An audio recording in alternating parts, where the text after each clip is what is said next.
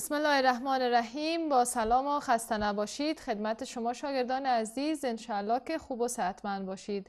خب شاگردای خوب ما در جلسه پیش راجع به بستکاری یک دوره کامل معلومات حاصل کردین و گفتین یک دوره کامل دارای سویچ است سیم هست ساکت است و دیگه چی بعض درس های بعدی هم که یک مقاومت به همین دوره اضافه می‌کنیم. و اندازه گیری جریان برق ما بر شما گفتیم توسط امپیر اندازه میشه یعنی امپیر واحدی است که جریان برق امرایش اندازه می‌کنه. و یک امپیر چقدر جریان است؟ ببینین یک امپیر عبارت از یک کلمپ بر یک ثانیه. کلمپ واحدی است که برتان گفته بودم که کدش چارچ اندازه میشه یا واحد اندازه گیری چارچ است. درست است؟ و همی که چارچ ها حرکت می‌کنه باعث به وجود آمدن جریان میشه. و یک کولمب بر یک سکند اندازهش برابر است با یک امپیر. این حالا شاید بگوین یک کولمب چقدر چارچ است؟ چه مقدار الکترون باشه؟ چقدر الکترون حرکت کنه تا اینکه یک کلم چارج به وجود بیایه با کم و زیاد شدن یک یا دو الکترون جریان به وجود نمیه بلکه مقدار زیادی از همین الکترون ها به حرکت میه تا اینکه یک جریان به وجود بیه پس یک کلمپ عبارت از یک اشاری دو ضرب ده به نمای 19 الکترون است چقدر الکترون های زیاد دیدین؟ یک اشاری دو ضرب ده به نمای 19 یعنی چی؟ عدد ده با 19 تا صفر الکترون چونی کلان نوشته می‌شد باز گرفتیم به توان نوشته کده ایره 19 پس می‌فهمین که یک مقدار بسیار زیادی از الکترون ها وقتی به حرکت بیاین یک کلم چارچه بر ما نشان میده و یک کلمپ اگر در یک ثانیه عبور کنه میگیم یک امپیر اگر ده کلمپ در یک ثانیه عبور کنه چی میگیم؟ ده امپیر خب میده برتان نوشته می‌کنم که باز خانش امپیر برتان راحت تر باشه.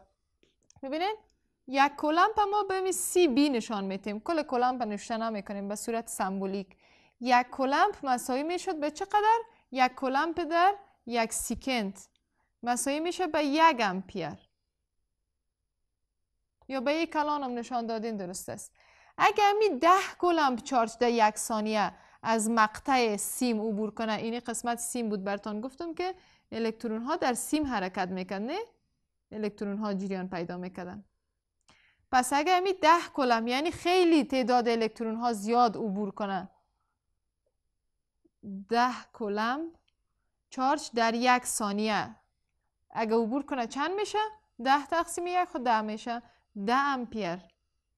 یعنی جریان زیاد بوده. اگه فرض مثال ما اینجا بگیریم 90 کلم در یک ثانیه عبور کنه. پس چی میگیم؟ 90 امپیر. پس خانش امپیر با اینی قسم جریان پیدا کردن الکترون ها می‌تونین که بخوانین پس 90 امپیر یعنی جریان ما خیلی زیاد است. شدتش زیاد است. 10 امپیر و یک امپیر خیلی کمتر است. و همین رقم اینا رو مقایسه می‌کنین. خب اینا شما روز قبلی برتان یک امپیر متر نشان داده بودم. و به چه شکل بود؟ یک تصویری از امپیر متر داریم.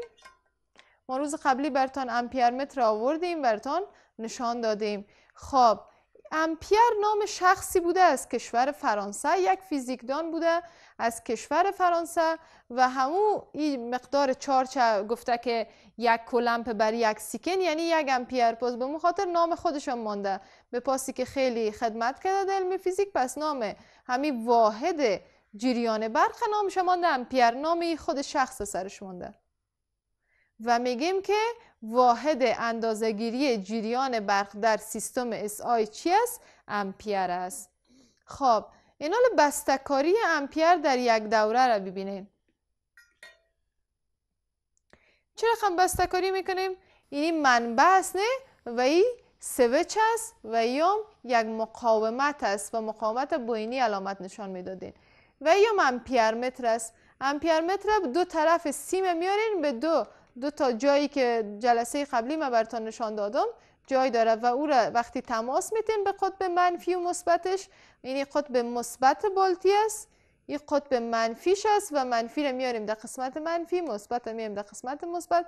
بعد از مقاومت می‌تونیم امپیر مقدار جریان برق توسط امپیر متر اندازه گیری کنید و اینی به شکل سمبولیکش نشان داده. گفته امپیر به شکل حلقه یک ای کلان داخلش نوشته می‌کنیم اینه سمبول امپیر مقاومت یا آر به این شکل خطهای منکسر نمایش میده. سویچ به این شکل و منبع اینی بالتی است که قطب مثبت منفی است. به این شکل می‌تونیم به شکل سمبولیک دیگه ایره ارائه کنین. و حالا ایره خواندن می‌تونین که چند امپیر بوده. جریانی که در سیم وجود داشته. چند امپیر است. دقت کنین. اینجا قیمتش از صفر تا به ده علامت زده شده و هر کدامی یعنی چند تا دو نیم امپیر است. دو نیم امپیر دو نیم امپیر دو نیم که مجموعا میشه ده امپیر و دینی دینی قسمت وسط قرار گرفته. خب اگه یکیش دو نیم باشه دو نیم هم نصف کنیم. خب میشه تقریبا یک اشاری دو بگوییم. دو نیم جمع یک اشاری دو چند میشه؟ بیاین روی تخته جمع کنین. دو اشاری پنج جمع دو اشاری دو که مجموعا چند امپیر میشه؟ هفت و چهار. و اشاری رو در جایش پایین می‌کنین. یعنی چهار اشاری هفت امپیر بوده. جریانی که در سیم وجود داشت چهار اشاری هفت امپیر هست. و خواندن همین جریان به همین طریق است. چند تا در این قسمت فعالیت چند تا تصویر از امپیر متر مانده که در سیم وصل است و بعد از شما میرین او را می‌خوانین. ببینین صفحات امپیر مترهای شکل زیل را یا شکل نهم فصل سوم را بخوانید و برای هر یک مطابق موقعیت اقربه و تقسیمات صفحه مقدار جریان آی را بنویسید. خب میایم از این طرف شروع از شکل الف شروع می‌کنیم به خواندنش. ببینین این به یک جریان وصل است. تصور کنید که به جریان وصل است و امپیرمتر حرکت کرده. اینجا چند است؟ از صفر تا دو هست و چهار حسش کرده. یعنی دو هر کدام صفر اشاری دو پنج امپیر هست. و این چه رقم می‌خوانین؟ تا این قسمت یک امپیر است. تا این قسمت هم یک و نیم امپیر شد نه؟ یک دو تایش میشه یک امپیر و اینجا یک و نیم امپیر. پس میگیم شکل الف یک اشاریه پنج امپیر نوشته می‌کنم. شکل الف ده فعالیتتان. یک اشاریه پنج امپیر است. یا می‌تونین که به ام نشان بتین هر دوش یکی است و فرق نمی‌کنه. و میریم شکل ب را بخوانیم ب چند امپیر است ببینین از صفر تا 20 نامگذاری شده و میین این قطعاتش تقسیم می‌کنین که چند تا از یک دو سه چهار پنج شش هفت هشت تا. خب یعنی که اگه ما 20 تا تقسیم هشت کنیم هر خانش چند تایی میه بیایم روی تخته یک بار براتون تقسیم می‌کنم که بفهمیم که هر خانش چقدر است. 20 تقسیم به این شکل تقسیم می‌کنیم که خانه اشاریش معلوم شد چند است؟ دو هشتم میشه 16 منفی می‌کنیم. چهار باقیمان اشاریه میمونی. صفر بالا می‌کنی. چند هشتم چل میشه؟ پنج. پنج هشتم چل دو اشاریه پنج. هر کدامش دو و نیم امپیر است. پس اینی علامت چند است؟ دقیقا روی خط دومش آمدن پس دو و نیم با دو و نیم چند میشه؟ پنج. پس میگیم شکل ب پنج امپیر است.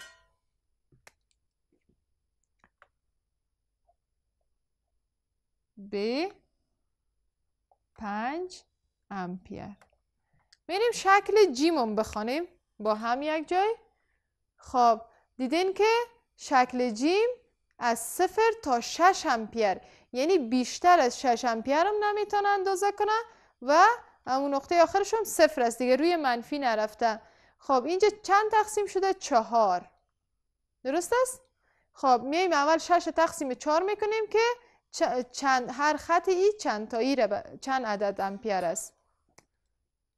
شش تقسیم چهار میگم. یک چهار چهار منفی می‌کنم و ماند دو. خب دو نمی‌رسه اشاری بالا می‌کنم. صفر پایین پنج چهار بیست. این دفعه خطایش یک و نیم امپیری بوده. خب اینم شد صفر. شد یک و نیم. یعنی هر علامتی که اینجا می‌بینین یک و نیم امپیر است که این مجموعه شد سه و سه تا دیگه هم شش. خب تا اینجا سه امپیر سه جمع یک و نیم چهار و نیم. پس جیم میگیم چند امپیر است؟ چهار و نیم امپیر. اشاریه پنج امپیر. خب دقت کنیم به فعالیت بعدی کتابتان. در این فعالیت چی گفته؟ چی چی دارین؟ بطری، گروپ و امپیر متر می‌بینی که یک گروپ داری بطری داری و امپیر متر داری. که در این شکل نشان داده است و در کتابچه های خود ترسیم و بعدا توسط خطوط سمبل سیم آنها را طوری وصل نمایید که دوره برقی را نمایش داده و امپیر متر جریان را نشان دهد. و به چی کار می‌کنین؟ دوره ترسیم شده را با سمبل های مربوطه رسم نمایید. یک دفعه ای وصل می‌کنین دفعه دوم مثل شکلی که شما انجام داده بودیم با سمبلش. خب یک دفعه یک دانه گروپ داریم امپیر متر داریم و بالتی داریم. اینا رو میارین وصل می‌کنین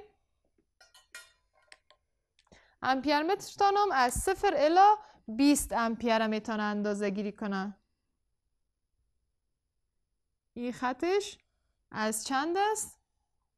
و این امپیر متر در چند است؟ در روی خط دومش است و می‌تونه از صفر الا 20 اندازه بگیره. خب این تقریبی همین رقم نشان میتیم میریم بسته کاری کنیم. یه از امپیر متر ما. دیگه چی داریم؟ بیتری داریم و یک دارم گروپ داریم. یم شکل یک بیتری قطب مثبت منفی و یک دانم چی داریم؟ در این قسمت؟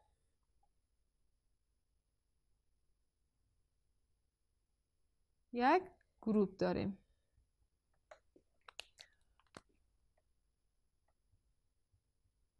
اینا رو میاین اینی رو بستکاری می‌کنین. این یک کمی صافتر ترسیم کنم برتان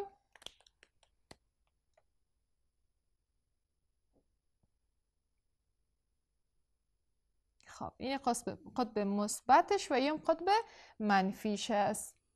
اینا با سیم شما ایره باید وصل کنین. خب من رنگ آبی رو می‌گیرم و میایم اینا رو به یکی دیگه چی می‌کنم؟ وصل می‌کنم. خب اینی یک سیم از طرف قطب منفی. بالا باز وصل می‌کنیم به گروپ. وصل شده و میایه باز به امپیر متر از امپیر متر این قسمت دوتا چی داره؟ قسمت اندازه گیری داره که باز بعد از توسط یک سیم میایه در قطب مثبت وصل میشه. خب ما این رو بسته کاری کردیم و یک دوره بسته هست و یک چیزی یاد ما رفته. کی میگه که چی یادش رفته؟ یاد ما رفته؟ آفرین یک دانه سویچ هم باید اینجا بانیم. خب بدون سویچ باز مستقیم میشنه روشن میشه و باید سیم ما خطاب دیم خب فرزن یک سویچ هست و اینجا سویچ داریم با روشن خاموش کردنش گروپ که ما بستکاری کردیم خاموش و روشن میشه. خب شاگردای خوب اینال شکل بستکاری ای میمانه بستکاریش شما می‌تونین انجام بتنه به جای امپیر متر چیکار می‌کنین؟ این علامت هم میمونین سویچ خود خودش هست. به جای بالتی اینی علامت هم میمونین و به جای گروپ چی را میمونین؟ یک مقاومت است یعنی یک مصرف کننده برق است اینی را میمونین. منبع شد امپیر متر و مقاومت. شما فقط به جای اینا رو میمونین و توسط یک سیم وصلش می‌کنین و این میشه بستکاری توسط یک سمبل نمایشش میتین خب شاگردای خوب درس ما در همین قسمت به پایان رسید. تا جلسه بعدی خدا حافظ و ناصر شما.